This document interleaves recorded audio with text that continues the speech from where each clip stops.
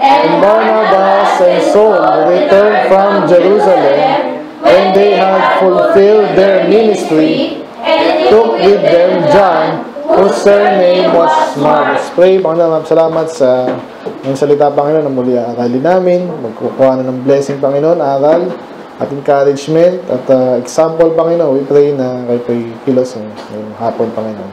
Maraming salamat sa maraming blessing sa mga batang ito, Panginoon, sila lumaki sa matakot sa inyo at uh, may pagmamahal sa inyo ng salita, Panginoon. Kaya malo natin. In Jesus' name we pray. Amen. Amen. Nakapo na po. okay, so continue lang po natin yung kwento na napakaganda na. No? So, last week ay parang naulit yung mga kwento sa chapter 5, chapter 4 na saan nakukulong yung mga lingkod ng Diyos. Diba? Si James napatay na. So, medyo may kalungkutan. So, ganun talaga, di ba? Yung mga setback. So, naglilingkod sa Diyos, di laging masaya. Okay? So, ganun talaga. Na, lagi ko nga naisip kayo eh. Nag-pray ko ito mga, kaya binibilang ko ito mga ito. Ilan ba kayo ngayon? So, 1, 2, 3, 4, 5, 6, 7, 8, 9, 10, 11, 12, 13, 14. So, yung mga taga-baybay sapa, nasa 14 ngayon. 15. Kasama ka pala, no? Si Ezekiel. Ay, oh, kasama ka na. 15. So, alam nyo ba sa church, uh, masaya pag marami tayo, di ba? Kaya sa experience ko, hindi lahat na natili. Nakakalungkot lang, kasi hindi ko alam kung anong pagpapalit mo sa Diyos. Nagpapalit ka ba, ba sa Diyos? Nagpapalit ka ba sa church? Ano ipapalit mo? Hindi nga. Maglinggo, pag-service, ano yung pagpapalit mo na pwede mong ipagpalit sa Diyos? Meron ba? Meron ba, Miguel? Ha? Ha? Ha? Meron wala? Narinig, di mo narinig yung tanong. May pagpapalit ka ba sa Diyos? Sa church? Yung mas maganda ko na linggo, eh dapat mas maganda nasa ano ako, nasa sinihan ako. O kaya dapat naglalaba ako. Yung mas maganda yun kaysa sa church. Meron ba nun? Meron ba? Ngayon alam nyo yan, pero pag laki-laki nyo, mag-iisip din kayo. Kaya lagi na nasa panalangin ko kayo, may makukulit pa kayo. Pero, still, pag kayo lumaki sa salita ng Diyos, dapat, nang umahal nyo yung Diyos, kung mahal nyo yung salita niya, eh wala naman dahilan siguro para, ano, di ba? Mawala kayo sa gawain, di ba? Ngayon, kung inutusan kayo, bata ka pa, talagang susunod ka. Bakit? Yung tubig na yun. Ganun yun ha, mga bata. Masalamat din, inaalo kayo ng Panginoon, ah, tsaka ng mga magulang nyo. Makapunta. Pero pag lumaki-laki kayo, may konting tampuhan kayo siguro dito, kayo-kayo, mawawala na sa church. So, hindi naman tama yan. Amen? So, yun ang katulad dito eh. Yun yung mga setback sa church. Merong magkakasala dyan, mawawala. Yung iba naman, uh, nag-asawa. Diba? So, sa kanila, matindi setback nila. Pinatay yung isa sa mga kasama nila. Isa sa mga leader. Pero, hindi sila nag, ano, di ba? Hindi sila nagpatinag. Nagpatuloy pa rin sila. Amen? So, dapat ganun tayo. Patuloy lang. So, si Peter, patuloy lang. Kala niya, patay na rin siya eh. Niligtas naman siya, amen? At uh, natapos tayo, pum uh, pumasok na siya dun sa kung saan siya nag-pray. So, another lesson last week, panalangin. So, pag sa palagay niya, parang imposible na. Actually, kahit nga dapat everyday, di ba? So, may nagano ba, sabi? Yung prayer, sabi mo, sino sasali? Daily prayer natin. Si? Kayo? Si... Kayo? Sali kayo? Silang dalawa? Hindi na... Hindi. Ah, Sige, pray lang kayo. Sa amin kasi nag-chat kami pag ano, pagkatapos ng pray, pray lang. Ah, sorry, chat lang. Ah, tapos na po akong pray. Ganun lang. So pag pray nyo, trinit mo sila na ng ano, pray, hindi pa. Actually, yun yun, no? Pwede yung tingnan din. So basic lang naman dyan, syempre, yung church, leadership, bigyan nyo ng copy. Sa panalangin, malaki nagagawa. Katulad dito, patay na dapat si Peter, eh, nailigtas pa siya. Hindi niya pa oras. Amen? At yun ay ah, pinalaya siya sa isang paraan na talagang na nakakamangha. Ay, makinig lang ha. Gusto ko marami tayo pero pag daldalan tayo pareho, hindi, hindi masaya. Makinig lang kasi may mga masabi dito na hindi nyo makukuha pag ah, ano-ano pinag... ano nyo. Okay? Kamusta si Jackie? Jackie ba? Ano yun? Jackie, yan si Jackie po. Lalamig ka ba? Ganun straight lang yung upo. Straight lang. Yan. So ito hindi nyo nabasa, no? Di ba yung pamilya? Beckoning. Pag sinabing beckon, di ba? Ganun din si Paul eh. Beckon, yung sabihin yan. Ganyan. O yung nagsignal, yun yung sabihin ng beckon. Okay? But he beckoning unto them with the hand to hold their peace. So, huwag kayong magwala. Ako to. Declare unto them how the Lord had brought him out of the prison and said, Go show these things unto James, and the brethren, and departed and went into another place. So, ganun ang pagliligtas ng Diyos. Amen? Kahit imposible. Siguro, kailangan pa nila si Peter at that time eh. Kailangan pa nila. So, hindi naman siya napatay agad. Pero soon, or later, ganun din talaga. Kanilang ka, ka ano yun. ah. Pero sila yung nakapaglingkod na sa Diyos. Ngayon, ah, so as a result, ano mangyayari? Kung may isang bilanggo na high profile, ano, sino bang high profile ngayon? Namatay na pala yung isa, di ba? Si... Basta yung isang drug lord sa Bilibid, kilala ni Pastor yun. Pastor Mel. Nakuloko daw talaga yun. Napatay na, di ba? So, pag yung ganong high profile nakawala, ano mangyayari? Eh, ano yan? Kaguluhan yan, di ba? So, especially sila, yung mga taong gustong umusig sa mga lingkod ng Diyos, yan na. Kaya sabi dito, now, as soon as it was day, there was no small stir among the soldier. What was become of Peter? Okay? And when Herod had sought for him and found him not, he accept, he examined the keepers and commanded that they should be put to death. So, ganun kasi yan. Pag nakawala yung bilanggo mo, ikaw yung dapat, hindi lang mabilanggo, eh, pag yun high profile to eh. Banggit ko sa inyo last week, di ba? Gusto talaga siyang special siya. eh. Parang iaalay siya eh. Si Pedro. Ganyan po yung mga loko-loko na yan. Kaya sabi ko lagi sa inyo, ingatan nyo yung testimony nyo, ingatan natin yung sarili natin, ginagawa natin. Kasi nakatingin yung mga yan sa atin. Naghihintay yan kung kailan si si kunwari, si Chelsea. Ah, church church ka si Chelsea, ah. Nako. Naligawan to ng ano, sino dyan, yung barkada natin. Nako. Hindi na mag-church yan. Kasi, pogi eh. Yan, totoo yan. Nakatingin sa inyo yan. Nakatingin yan. Kayo yung gusto nilang pabagsakin. Yan ang totoo. Kaya nung nakawala, ay galit na galit. Nakita niyo yun? Loko-loko to nga may ako ihusgahan siya ng Diyos. Amen? Kaya yun ang tingnan nyo dun. Ah, kahit galit sila sa inyo, ang protection ng Diyos na kanino? Sa mga sumusunod sa Kanya.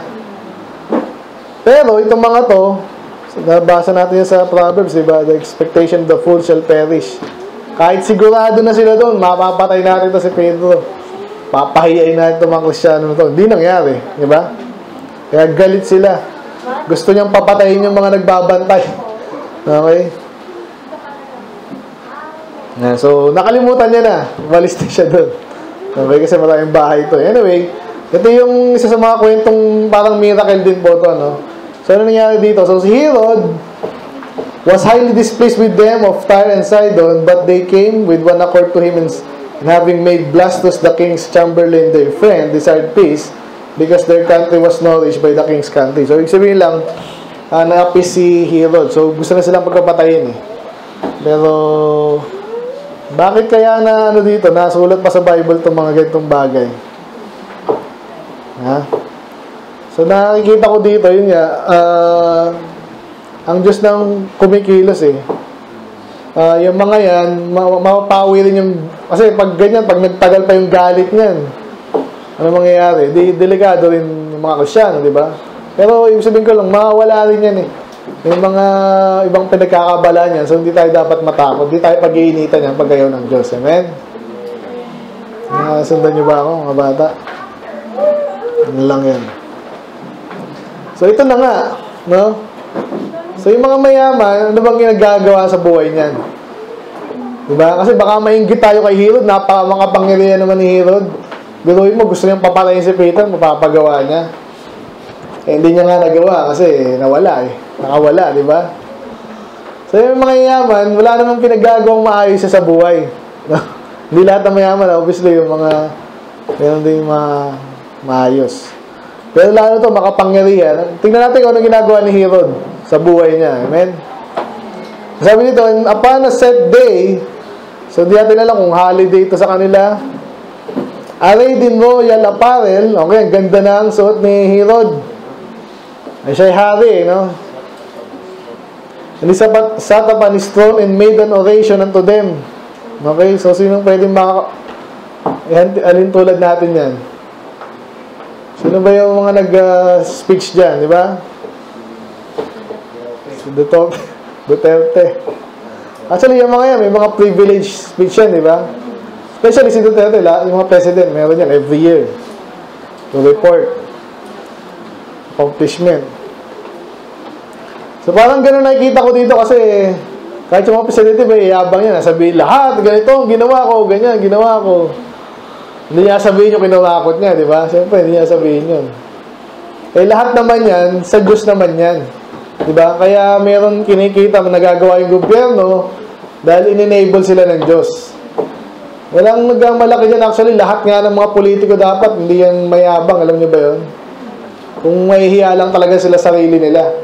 Kasi nga, ang uh, automatic ang pera dyan eh. Galing yan sa tao. Hindi naman napakagaling mo dahil na-accomplish yung project, di ba? Anyway, mga unbeliever, ganun eh, mayabang eh.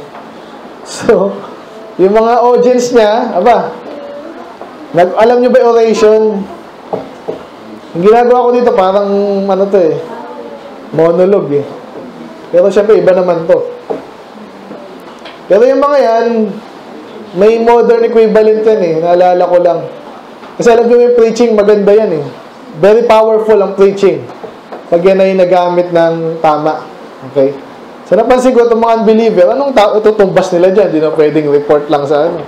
So na yung lately, na, nakita ko sa YouTube, yung mga, alam niyo yung TED Talks. Ayan. So hindi, la, hindi laging pangit yun ha, pero nagagamit yun sa hindi maganda kasi nga, bibigyan yung uh, pri, parang privilege speech, ang dami na ikinig sa kanila, i-arrange nila yun. At talagang yung speech niya yan ay planadong planado na. So kahit ano pong gusto nilang palabasin, pwede nilang palabasin doon sa isang talk na yun. Kasi nga, nakikinig lang lahat eh. Tapos pag marami nag-like dyan, share-share na. Isa sa mga nag-TED talk ganyan, yung isang parang... Uh, kailangan nyo malaman itong mga bata eh. Medyo nakakadiri to. Pero yung isang parang bakla na... yung, yung matanda ba pwedeng pumatol sa bata? Pwede kong asawahin ko yung kasi late ko na rin ni, ano, ni Jackie. Pwede ba yun? Di ba kadiri yun eh? Di ba? So sinasabi ng isang TED Talk na yun, parang sinasabi, okay lang yan kasi ganun talaga yung ano. So pinapalabas nila ngayon, yung pinagbabawal sa Bible, okay lang. So yun ang sinasabi ko na sinusubukan nilang gayahin yung uh, gawain ng Diyos. Kasi alam nila, kahit na paano sa, sa mundo, yung churches, malaki pa yung influence, maliit-liit lang yan, pero sa dami niyan, na-influence yung tao in a good way. Amen? So, pero nga, pag nakorap yung mga pastor, ganun din, in a negative way din. Pero still, hindi nila kayang totally, ano eh, sa ngayon, hindi pa nila kayang totally baliin yung gospel. So, ngayon, marami na rin kalituan, Uh, pero still, yung ibang kalooban ng Diyos nakapatupad dahil sa mga churches. Anyway, so nakita ko lang dito kay Herod, so iniisip ko ano ang laman ng kanyang oration. So malamang puro ganun din kung ano yung makikita mo sa mga presidente ngayon. Mayayabang para isipin, oh, ang galing talaga ni ano, ni Trump, oh, galing talaga ni Obama. Ganun lang yan eh. Ganyan ang kalakaran. Kaya kahit sa inyo, kahit magkakaibigan kayo, di ba? Ang dahil nito mga bata, ah. Sa inyo mga magkakaibigan, sino lagi bumabangka sa inyo? Alam niyo bumabangka, di? Ibig sabihin, madalas gusto niya, siya yung naririnig. Oh, sige, kwentuhan tayo. Ako, ako na yan, ako na yan. Di ba? Di ba nakakairita yung mga ganun tao? Di ba? Eh, ikaw na naman. Pero iba kasi magaling eh. Nadadala tayo, no? So, again, okay lang yun in a way, pero ah malaking ah, advantage mo pag ikaw nagsasalita. Kaya nga nabanggit ko sa inyo last time, yung mga commercial, bin- binabayaran ng milyon. Okay? Para lang makita sila doon. Ngayon, so imagine nyo na lang kung ano pinagsasabi ni Herod. Okay? So, I believe, parang yung mga songer din ngayon, anong ginagawa ng mga songer? Nanonood ba kayo mga ganyan? Ako, naasar ako sa ganyan eh. Singer. Ah. Singer. Simpleng ano, kala mo, napakagagaling. Sabi mo, magaling naman talaga iba, pero deserve ba ng oras mo yung, ay, galing niya talagang mag... Woo! Ah, siyempre, ba, sayawan pa, di ba? Entertainment. Yan ang entertainment sa kanila eh. So, sa inyo, ano dapat entertainment nyo? Yung maganda, yung malinis. Kaya si pastor nga, minsan nag-ano, di ba? Napatawa kahit kami. Oo, oh, yun ang may entertainment nyo. Kasi may kasama yung aral. Okay, isa lang yun ha. May kasamang aral, sapol na rin yung patawa minsan, di ba? Natawa ba kayo sa akin? Minsan. Ano yun? Naghihirapan ko yun. Kaya talaga. Hindi ako sanay sa ganyang bumangka. Pero napansin ko, kailangan minsan. eh. So, nag-orate itong si Herod, nako, sigurado puro pang sa sarili, di ba? Kaya ang, ang naging resulta, no? By the way, paghari ka, sabi nga sa inyo, di ako naniniwala sa mga contest-contest. Kasi ano na yan eh, predetermined na minsan eh. Paano naman naging mas magaling yung isa dun sa isa? Di ba? Does it make sense? Kahit nga sa basketball minsan. Sa bagay, basketball, medyo may skill dyan, tsaka coordination. Pero pag susumahin mo yun, gumastos ka, ah, talagang sinundan mo yung buong season, dahil lang sa isang tao na paramihan sila na shoot, anong sense nun? Meron ba? Kung susumahin mo, ah, okay, in a way, okay lang yan na sports. Ang yan gusto ng mga Baptist eh. Basketball, pero hindi yun nakakabangga pag inisip mo na didevote nila yung oras na yun. Anyway, pero dahil nga magaling mag-ano si Hero, I believe, katulad ng napakaraming mga leader, hari, nag-aaralan po nila yan. Paano makuha yung mga tao, ginagamit nila yung opportunity. Na kahit sa amin dati, again, di laging masama, ah. Yung mga boss, pag mag-report yan, talagang gumagastos yan sa lugar. Para lang for that exact moment na pag, pag tumayo siya doon, nag-report siya, mabango siya. Alam niyo ba yun? Oo, kaya may mga yung events ma management na yan. Importante yan.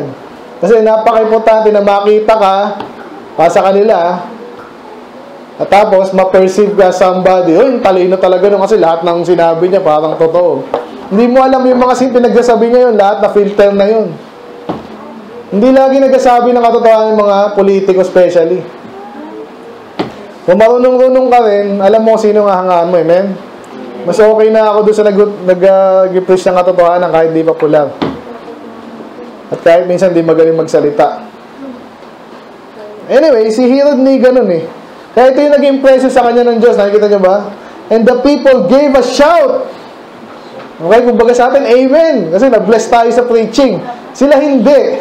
Di ba? Pag may mga gathering na ganyan eh, madalas, saan ba sila humihiyaw? Kasi na, na, nasali rin tayo minsan ganyan eh. Madalas yung mga payabangan, ganun. Uy, galing talaga ni ano. Uy, ang ganda ni ano pag may nagbihis ng konting ano dyan. Gisigawan na yan. Diba ano pa? Ayun, mga, mga patawa pa, ganyan. O iba naman, panglalain, ganyan, sa competition, mga ganun eh.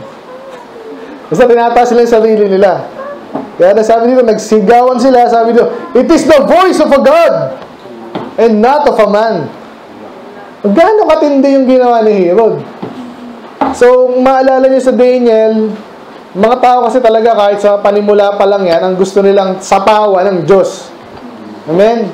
Kaya tayo pag nag-ipis tayo, pag nakita natin yung, nakinig natin yung ibang aral, haasal tayo eh. Ako. So sinusubukan ko i-warning iba, pero yan ang gustong gawin ng mga yan. Sapawan ng Diyos. Saan, na, saan makikita natin yun? Di ba sa Garden of Eden pa lang eh. Palagay mo bakit ah, ginusto pa ni Eda, Aba, Eva at Adan yung prutas?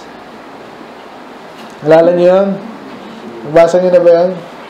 Di ba? Sino kasi tinukso sila ni Satanas, sabi niya, hindi naman sa masarap to eh, pero pag kinain nyo to, magiging parang Diyos kayo. Kasi sabi ni Eva, mambira, tindi niya na. Kumain siya. Kaya mag-iingat tayo dyan. Anytime na iniisip mo, parang mas gusto mo yung sa Diyos, gusto mo yung papuri ng Diyos, sa, na dapat sa Diyos, hindi tama yan. So kaya makikita natin dito, ito, isa to sa mga example na sana hindi natin makalimutan. Si Herod, tinaas niya yung sarili niya, sinet up niya yung sarili niya, at ang naging impression ng, ng tao tungkol sa kanya ay parang hinalitulid siya sa Diyos. Anong ginawa ng Diyos? Parang maging example siya. Parang di na natin gayahin. Ano sabi? And immediately, the angel of the Lord. So, sino angel of the Lord? So, kung sino man yan na pinadala niya, again, dalawa yung klase niya na pwedeng tao, pwedeng ah, hindi tao, ang ah, angels. Amen? Eh, sinugo lang yan. Pero I believe, yung sinugo niya dito, angelic being talaga, hindi to tao. Kasi sa pag sinabing smoke, tinira siya, binira siya. At ano nangyari sa kanya? Sabi dyan, oh, because he gave not the God the glory. Tandaan niyo yun. Okay? Ang example, ang pinakasalanan niya dito, hindi niya binigyan ng kalwalatian ng Diyos. Alam niyo ba yung kalwalatian, mga bata, hindi pa masyado eh. Kunwari, mga si Peter, ay, galing ni Peter mag-piano. Woo! Eh si Peter, tuwa naman. Oh, gagaling ako pa. Next time, kahit ano, lumalagpas na ano. Ay, medyo di na natutuwa yung tao. Ah, habang nag-piano ako, nag-drums ako. Mga ganun, nakita niyo mga ganun, ano, pakulo. Natutuwa sila pag natutuwa yung tao sa kanila. Hindi pa sapat yun. Kasapawang pa nila ang Diyos. Amen? Ibang mga theologian, nagsusulat ng sarili nilang Bible. Tama ba yun? Mo sinabing di pa sapat yung Bible, di ba? Move ka na lang dito. Sabi ko siya, huwag kayong na ano ako eh.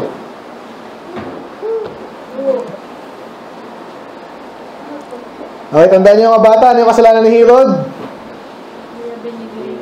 Hindi niya binigay yung ano, yung kalulatian sa Diyos. Sa, and another way of saying that, nagyabang siya in a way na parang gusto niya sapawan ng Diyos, di ba? So, sa madaling sabi, kayabangan, sobrang yabang nito. Di? Ano sabi ng Diyos sa mga mayabang? Di ba? Ang, ang Diyos ang nagbababa sa mga taong mayabang, di ba? At siya naman ang nagtataas doon sa mga nagpapakababa. So, ito talagang ano to, Handaan nyo to. Sino yung ano nangyari sa kanya? And he was eaten of worms and gave up the ghost. Sa Bible, pag sinabing gave up the ghost, namatay. Okay? Pero hindi lang yan. Sabi dito, and eaten of worms. Ha? So, habang nag-speak siya, namatay, kinakain na siya ng uod. Diba? Nakikita yun sa mga palabas, diba? So, yun, ginaya lang nila yun dito. Ito yung totoo. Kayang gawin ng Diyos yun. Alam niyo ba maraming bulati sa katawan niyo ngayon? Eh, syempre, dahil buhay pa kayo, diba, hindi, hindi sila lumalaki. Pero alam niyo ba yung tapeworm? Hindi niyo alam yung tapeworm? Malaki daw yun. Kaya mga hindi tumataba sa inyo, baka meron kayo nun. Tapeworm, ano yun, malaki yun, mahaba, pero maliit lang. Kaya hindi imposible ito eh. Ginanahan siguro, sinabihan ng Diyos, oh, sige, kainin mo na yan. Patay si Herod.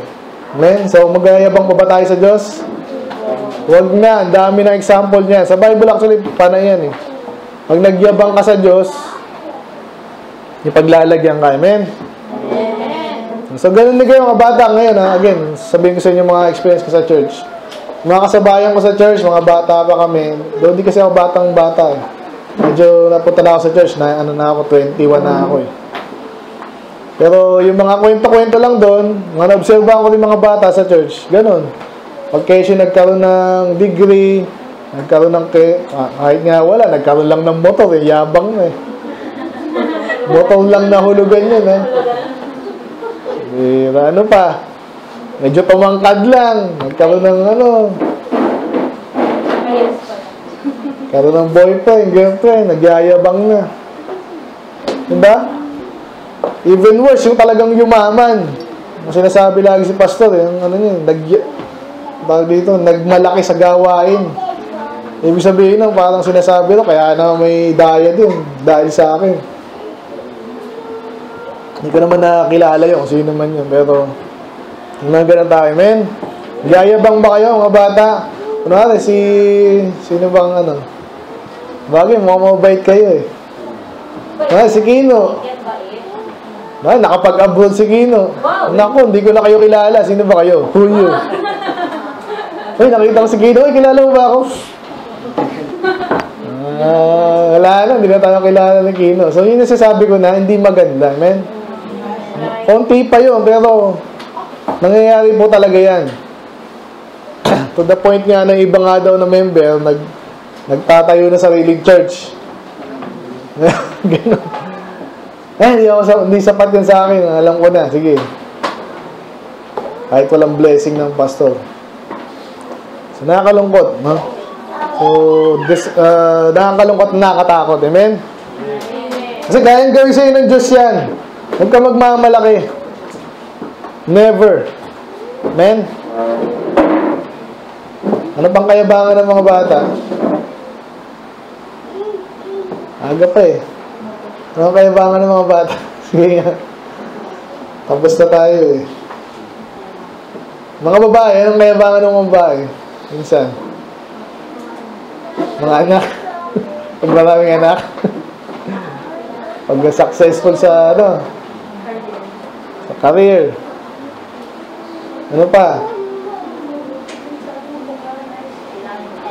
Maraming pera, yan. Maraming pera. Natatakpan na yung ano, natatakpan na yung mata, natakpan na yung...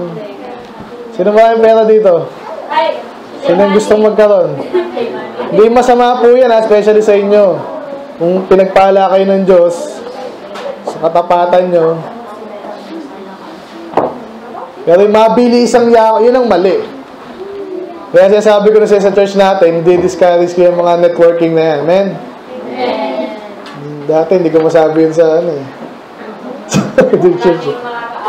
Pero, yun yun. Anyway, kung, ma, kung ma, may rason talaga, pero sa nakikita ko hindi eh. Sa, networking, sa networking, mabilis ang yaman. Sigurado yan. Amen? Kala, di ang kalooban ng Diyos. Ano ba, Joshua? Ano ang pinagmamalaki ng mga kabataan? Talino. Alam mo, Pastor, no? Nag-ipis na naman si Pastor. ah, Sabihin yung ganyan. Di naman ganun eh. Kamali lang sa English si Pastor eh. Yung kilala akong ganun eh. Nasa likod kasi ako minsan, na-late ako. Sa, sinasabi ba naman, mali naman yun naman. Nagkamali. grammar ni Pastor, nagkamali eh. Kino-correct pa, hindi nila palampasin eh. Alam niyo ba yung grammar? Grammar lang yun eh. Di ba? Ibig sabihin ba kunwari isang Pilipino, hindi marunong mag-English, bobo na? Hindi naman eh. Language yun sa kanila yun, hindi naman tayo doon lumaki. Di ba? Ngayon, kung nag-aaral ka ng ilang taon sa school ng English, hindi mo natutunan, iba rin yun, okay? Pero, still, ah mababaw na ano yun. Actually, may pagka-racist pa nga na judgment. Men, so ano ba? Nalakas, yan, ako.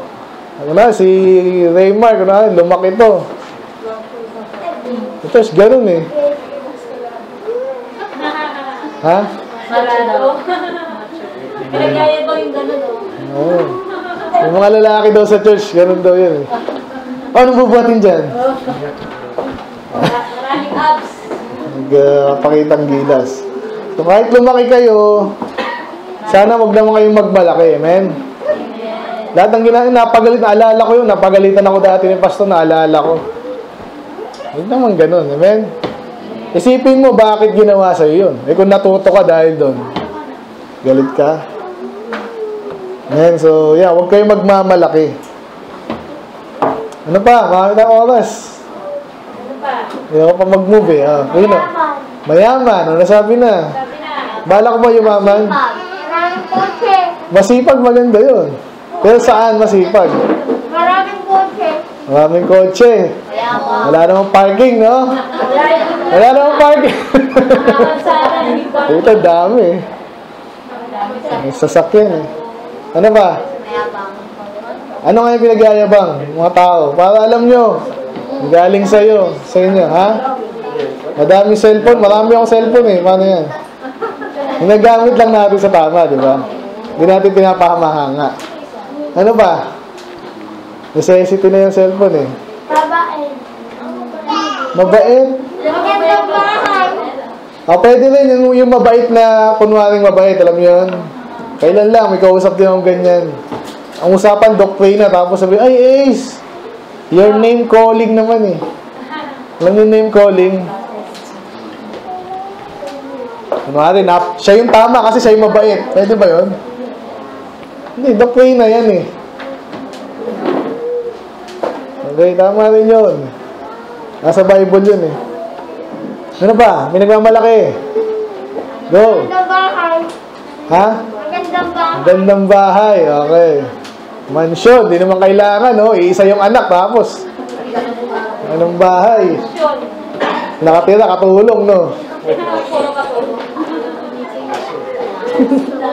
Alam ni Brad yan, kasi inupahan nyo. Gano'n, di ba? Mayaman yung may-ari yun.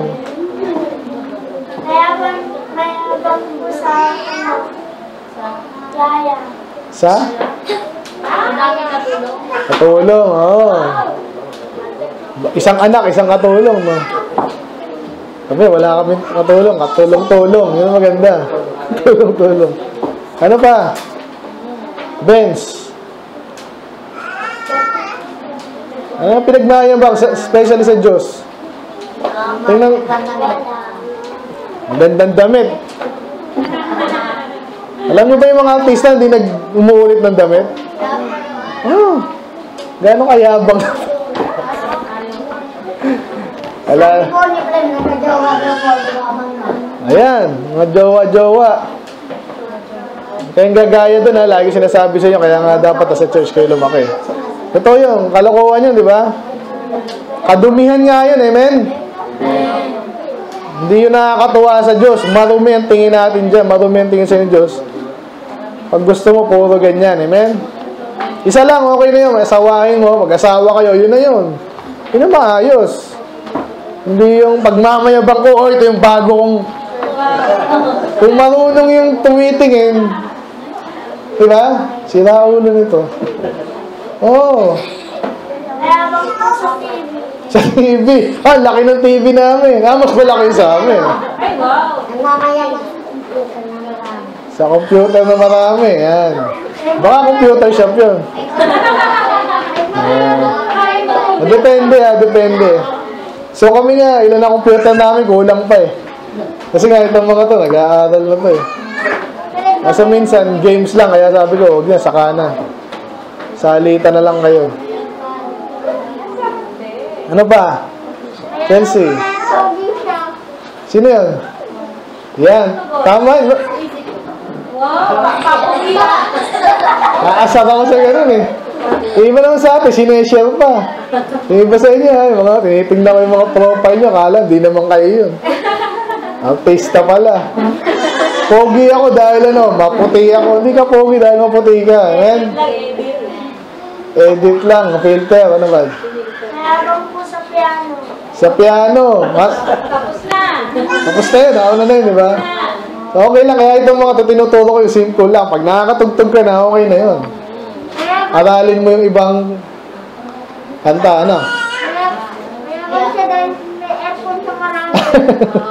Ah, paano pinapagyabang yun? Alin? Aircon. Aircon. Oh. Okay lang gamitin. Okay lang gamitin. Pangit yung pinagmamalaki pa. Di ba? Agaw, Mayabang, ito muna. ano, may bagong laruan.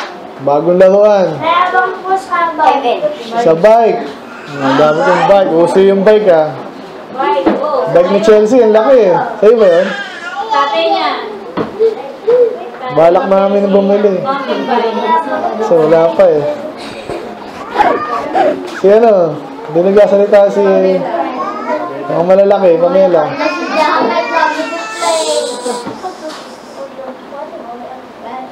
Ano yung alam mo? Dapat nating iwasan. Natin pinag-uusapan. Ano yung pinagmamalaki ng mga yan? Malaki. Bago ni Van. Talent. Anong talent? Skills.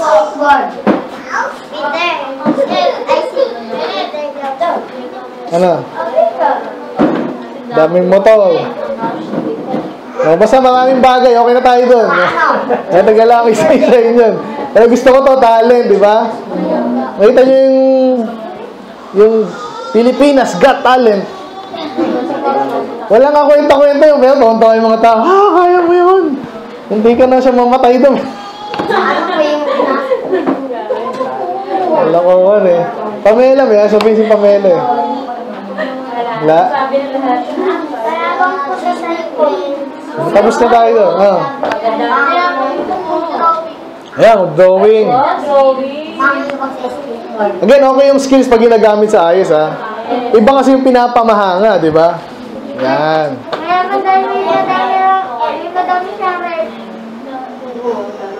Kasi ano, yung mga malalaki. Jamie. Sapatos. Si Brad, maraming sapatos. Pero sale. Bag. Naku, yung mga babae, mahilig dyan. Wala pa. Wala akong bag. Hindi lahat. Lelos. Ayan. Okay na, okay na yun. Ano pa? Meron akong gusto ma-mention nyo eh, mga babae. Okay na yung material. Ano pa? Talino, talent. Ano pa? Mayabang po sa. Sa? Trophy. Palaki ng trophy. Ah. Pera, o, tapos na tayo doon. Ano yung mga mga pinagyayabang nyo pa?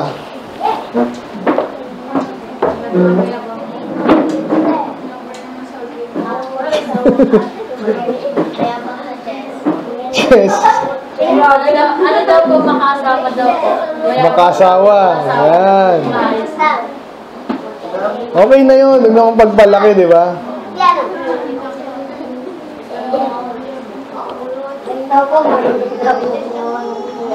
Okay na yun, okay na. So, naisip ko lang sa mga babae yung ano, pinapaki, anong pinapakita mo sa mga babae?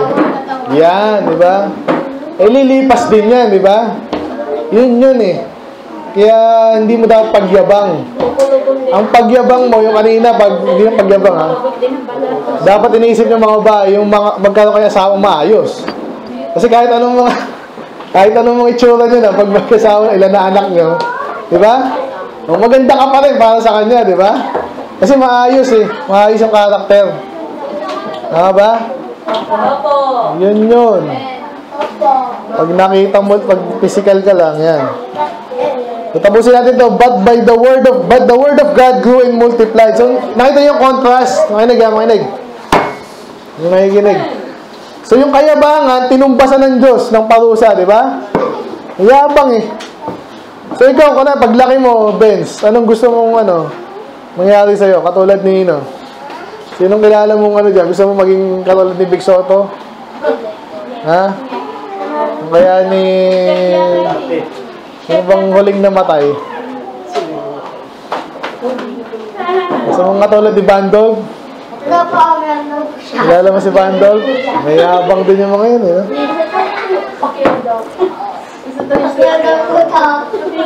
So, Pacquiao.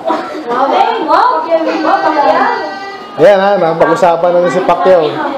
Narinig ko yung mga preaching niya, parang mali eh. Works-based salvation eh. Medyo mayabang din. Anyway, ito yung, yun nga, yung contrast dito. Makinig na. Yung, yung anong ginawa ng Diyos sa mayabang? Ay Herod. Pinusahan. Pinatay. Pinatay, di ba? At yung pagkapatay sa kanya, napakapangit. Gusto mo mamatay ng ano? Paano nyo gusto mo mamatay? Yung mamatay, bata pa kayo. Pero gusto mo mamatay ng tahimik lang, di ba? Matanda ka, fulfilled life ka, naglibing mo, dyan yung mga nagmamahal sa'yo, di ba? Yung ano yung mga hindi magandang klase ng pagkamatay? Sa aksidente, di ba? Namamatay po ng. Patas. Bata. Patas daw po. Yung patas. Yung hindi maganda, di ba? Yung bata ka pa, patay ka na. Pangit nun. Ngayon, kung maganda yung pagkakamatay mo, okay din. Pero, isa mga hindi mo gusto mong kamatayan, yung katulad ni Herod. Alam niyo may mga namatay na ganito, mga, tawag dito, mga action, action star pala, yung mga rocker, mga rockista, talagang blasphemer. Ano nangyari sa iba? Iba, binaril. Yung iba, nagpakamatay sila. Yung iba, namatay sa sakit na hindi mo malaman. Yung isa doon, AIDS, mga ganyan. Yung iba naman, yung... Sino ba yun? Yung na- nalunod sa laway niya. Alam siya ba yun? Kasi parang ano siya eh, ad- addict eh. So, parang nabulunan lang. Parang ganun. Pangit, di ba ito? Inuod. Kaya pag sinabi, oh, Herod, yung sa'yo, yabang mo. Kaya huwag lang mayabang dito, tatawagin ko kayong Herod. Ha? So, ang pangit ng pagkamatay niya. Pero ito yung maganda dito. Yung mga lingkod ng Diyos, ano nangyari sa kanila? Wala silang magandang palasyo. Pero yung, yung gawain nila, yung kung saan nila nilaan yung sarili nila. Nakikinig ba? Opo. Isa sa mga hindi mo gustong gawin, kunwari, nilaan mo yung buhay mo para sa kumpanya, tapos yung kumpanya nagsarado. O kaya yung pamilya mo, talagang nilaban mo, tapos wasak-wasak. Di ba hindi mo gusto yun? O kaya yung Pilipinas, pinaglaro yung Pilipinas, bandang huli. Ayaw na doon sa pinaglalaban. Sige, mag-probinsya na lang tayo ng China. Di ba? Hindi maganda. Alam nyo ba ganun yun? Minsan, ito-demote mo yung buhay mo, itong uh, pagkahari niya, namatay lang siya. Kahiyan. Pero ito maganda sa mga lingkod ng Diyos, dinevote nila yung sarili nila sa salita ng Diyos. Ano nangyari sa salita ng Diyos? And the word of God grew and multiplied. Pinapatay sila, kinukulong sila. Ay, lalong dumami. Yun ang maganda, di ba? Bandang huli, kahit andun ka lang sa likod ka lang, taga-piano ka lang dyan, taga-linis ka lang ng church. Pero bandang huli, titignan mo, gusto ko na yung buhay nito kaysa yung kay Herod, di ba? Napay ang pangit ng pagkamatay. So, doon tayo natapos. Sabi niyo, Barnabas and Saul. Nalala si Barnabas and Saul, di ba? Nag- Nag-stay siya ng konti doon sa ano, matagal. Sa Antioch. So, pagkatapos doon, sila ay nag-return na.